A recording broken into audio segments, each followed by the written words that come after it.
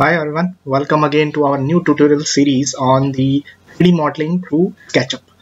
This playlist is going to be very helpful for the architectural and civil engineering student for modeling their 3D landscapes and their 3D architect models. Okay, so first video is going to be about how we can try this software, where we can download this software.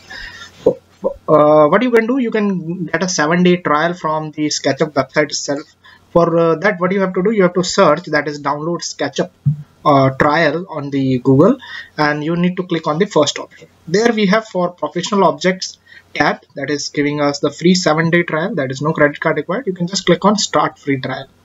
Now what is going to happen it is going to redirect us to the login page. It is going to ask you if you have any Trimble ID so you can directly log in from there and you can download it on your particular that mail so I'm going to use my email here and I'm going to just sign in here. After filling the password this is going to ask you from where which field you are. I'm right now selecting that is uh, civil construction. And then uh, they are asking this uh, subdivision. You can write out anything. I'm just writing other. And then I'm going to press continue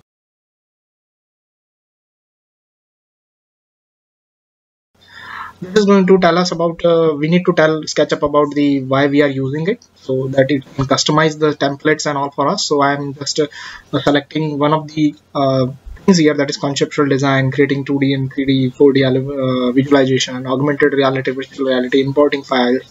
You can do anything okay? This, this is not a big thing okay? Now it is going to ask your company size job role and all those things. You can uh, type anything if you want okay? So i'm just putting it uh, the basic things from my Civil for Sure Academy uh, project.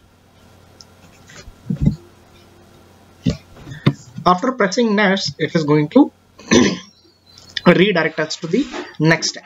Now, in this uh, tab, what we can do, we can now download the SketchUp. So there's an option under the bottom here, you can see that is download SketchUp for Windows. Upon clicking it, the downloading will start and it will take some time. It is around 400 MB, so like that 405 MB it's going to be like that. You just need to um, uh, double click it and just press next next next and it is going to install it. Okay. Uh, just remember one thing. This is the latest 2024 version. Uh, it it is what it was having i noticed it was having a bit of issue while installing but i searched the internet and i got to find out that uh, you need to pause your uh, security. That is if you are using any antivirus just pause it for a minute or so during the installation and the installation is going to work perfectly. But um, if you don't have any uh, antivirus you will have an windows defender that is the inbuilt antivirus. You need to post that one uh, at that particular time. Uh, so then you can easily install it and you can give it a try. If you find out it useful after watching my tutorials you can continue buying it. Or there are many links through which you can download the older versions of SketchUp and you can practice them.